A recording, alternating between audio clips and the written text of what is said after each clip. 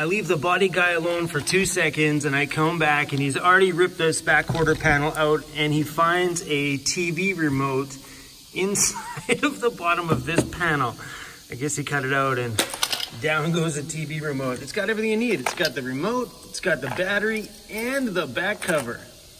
So if anybody's looking for a remote for their TV, I found it.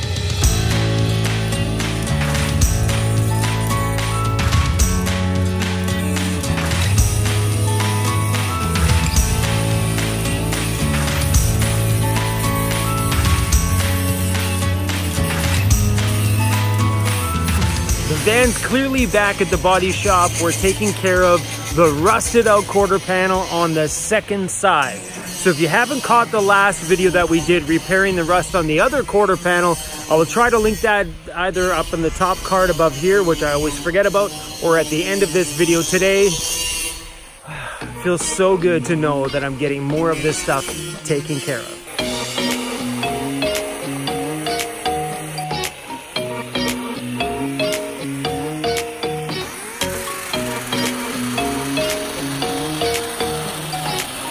As he grinds away at that back quarter panel, he's finding a whole lot of Bondo, meaning that the vehicle has gone through a major repair in the past. He found some body work that was done on the opposite side of the van when we worked on it about a month ago, and today he's finding a lot of it on the opposite side. When I bought my van, it had all the, you know, all the records. You know how you run your vehicle through some kind of a search and it gives you a total clear thing saying it's never been in a motor vehicle accident, never had any major insurance claims. Well, my van came clean. But that doesn't mean the vehicle's never been in an accident. It just means that accident was never put through insurance, so there's no record of it. Well, my van apparently has been in a rear ender accident before. So what he's doing now is grinding away at that back quarter panel, trying to find the metal, which is way underneath the Bondo. He's working hard today.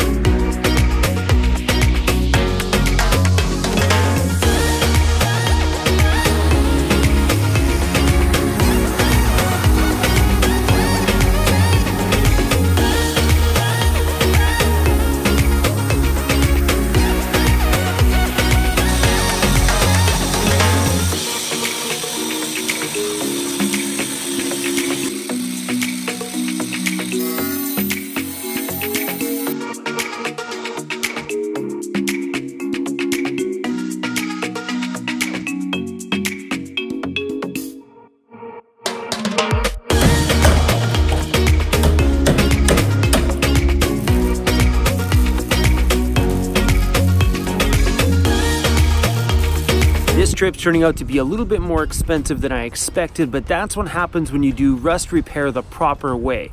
Normally people just scuff down the front of it so it's flat, put some Bondo on it, put some paint on it, make it look pretty, but when you do it right and actually cut the rust out, you see what's going on behind that rust.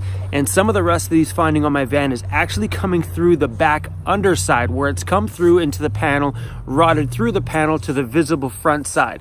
So like use this for example, the rest isn't coming, going from outwards in, it's coming from the inside bottom through the outside hole, meaning that you have a full rusted inside panel.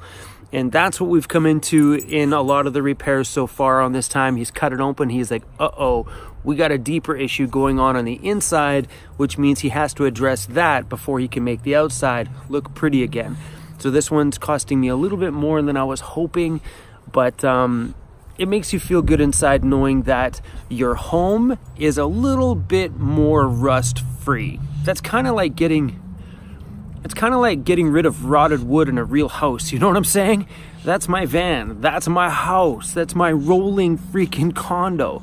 So to take care of all that kind of stuff, as much as it hurts to spend that money, because right now I'm dipping into my emergency fund a little bit to cover some of this stuff, but it's worth it. It's my house.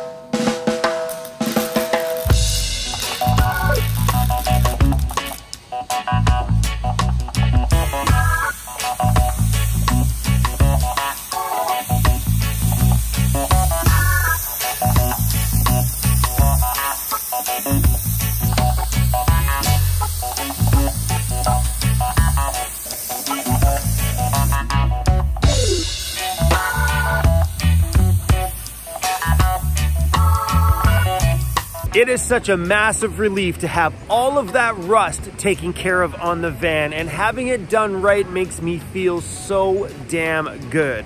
We did four days of rust repair in total on my house. We did two days in the last video you've seen and today was filmed over two days as well too. Uh, feels so, so good. There's still a little bit of work to be done on it, which I'm gonna be doing myself. Like you guys seen my rock chips. There's a few chips and stuff along the doors. I'm gonna be doing that myself because I don't feel the need to pay somebody to do, to do the minor things that I can do. At least I hope I can do. But it felt great to have everything else professionally done.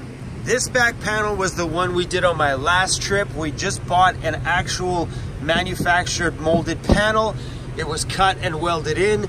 I will link that video at the end of this video. And I just spray bombed it with a can of spray paint and it turned out pretty good. I mean, it's not a perfect match, but hey, the rust is gone. We don't have to stare at it anymore.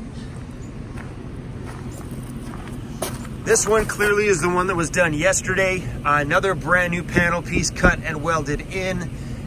Yeah, man, I'm pretty stoked on that one. And this was just a big fat scratch chip there that he fixed as well too because it was close to it. Down here was a huge hole. So he had cut that out, fixed that all up. Brand new piece of metal welded on the bottom of my door here. Because if you've ever noticed in a video, this was rotted, like jagged all the way along. Another little repair underneath there, there was a little hole just up in the bottom there. So we cut that out, welded a new piece in there, fixed that one up.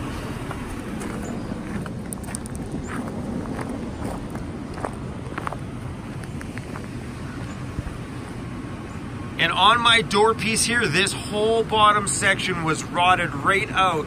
So we bought a complete new piece of metal. That there is a full molded piece that he had cut, welded it all in there. he did such a good freaking job on that but it feels good not to have those major, major problems anymore. I learned a lot from George, being able to film the entire process from beginning to end over that entire four days that I spent with him. I learned a ton about body repair and how much work is involved in it. And every time he cut something open, he was like, Chrome, come here. And he showed me what was going on behind and explained how things are rotting from the inside out and the outside in and ah, so much information. But all I gotta say, guys, is please get the major rust repairs done on your van professionally.